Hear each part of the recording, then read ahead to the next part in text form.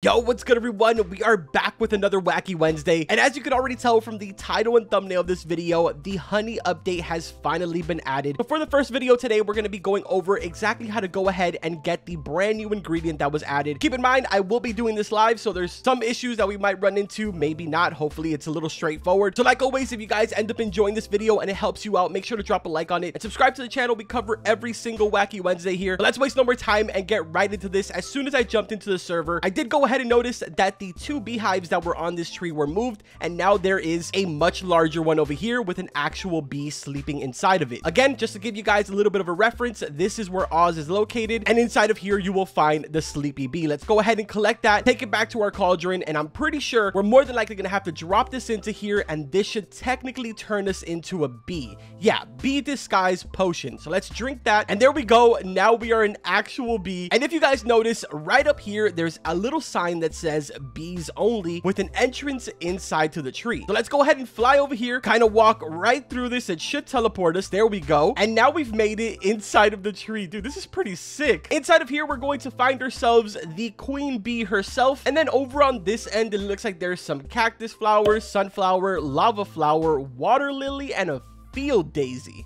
Hmm, pretty confident that we're gonna have to find all of these. But let's see, man. Let's talk to the queen bee. She says, hello there, little one. How can I help you? How do I make honey? A bee who can't make honey? What is the world coming to? Oh, no, it just skipped over what she said. And bring the pollen back to me. Once you find all the pollen, you'll be able to make it into the honey. Okay, let's talk to her again because it kind of skipped over that. Go find the flowers you see in the honeycomb over there. Okay, yeah, so exactly what I expected. So let's head back out and start looking for these. Just want to go ahead and point out, I'm not 100% sure if these are going to be in the same exact location location for you guys, but already I can tell kind of around the map that there is these kind of, I guess these are the daisies or something. So we just go ahead, stand on top of them, you'll get the pollen. And I'm assuming that at this point, we should go back inside and drop off the pollen that we just got. This is really cool, dude. What? So technically speaking, the pollen that we just got was a field daisy. So let's walk inside of here and there we go. All right, so we got the first one. Again, this is probably going to be one of the easiest ones because they are kind of spread around the entire map. There's one here, another one over here, another one over there. yeah, I think it's pretty safe to say that they're more than likely going to be in the same locations for you guys. Now, the next one that we're going to do is going to be the water lily, I believe, which is obviously located right over here where the waterfall is. Again, very simple. Just go ahead and make your way over here, stand right on top of it. I believe that you do need to have the bee disguise on because obviously you need to collect collect the pollen and you need to make your way back inside of the hive. So again, now that we've got ourselves that pollen, let's go towards the water lily.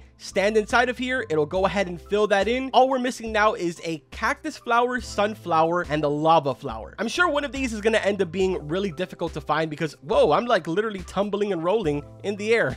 But yeah i'm assuming that one of these are going to be actually difficult to find. But anyways the next one that we're going to do is obviously the cactus flower. This one is extremely straightforward as well. You're going to find these in the desert section right on top of the cactus go ahead and walk up to it get ourselves the pollen here really quick and make our way back to the hive so again, just go to the image that is corresponding to the pollen that you just got. It will go ahead and fill up. All we're missing now is the lava flower and sunflower. If I remember anything from the one update where we had to find the lava flower, I do remember that the lava flower was located inside of the volcano. Let's see, man, it's worth a try. Let's make our way to the very, very top of the volcano and see if that's exactly where this is located. Yep, sure enough, that is exactly where it is right on the very top. Just go ahead, grab your pollen and let's make our way back. All we're missing now is going to be the sunflower, which I'm a little confused. I'm not exactly sure where I'm going to find that, but it's all right, man. We'll figure it out. But right now, let's go ahead, drop off this pollen right here. And all we need to worry about now is this interesting little sunflower. Where could this be? All right, so I may have a big brain moment here. Maybe I won't, and I'm going to be completely wrong. But technically speaking, there's a hole on top of Oz's house, right? So that would kind of indicate that sun is coming in. Maybe I'm just completely... Bruh, there's no way that I was actually right about that.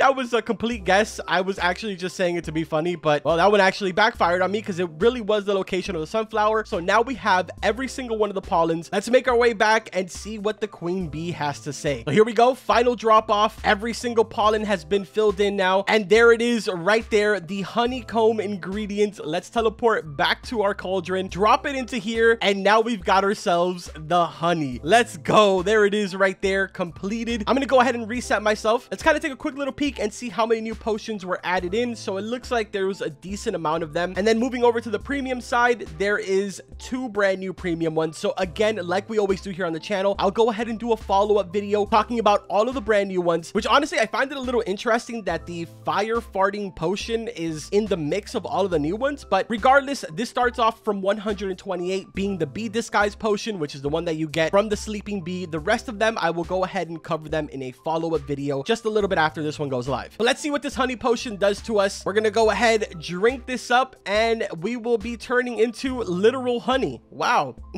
this one also is going to be potion number 129. So yeah, man, hopefully this helped you out. Like I was saying before, keep an eye out. I will be going ahead and probably publishing one more video, squeezing in every single thing that was added brand new in this update. But that's gonna go ahead and do it for this one. Like always, I will see you guys in the next video. Take care.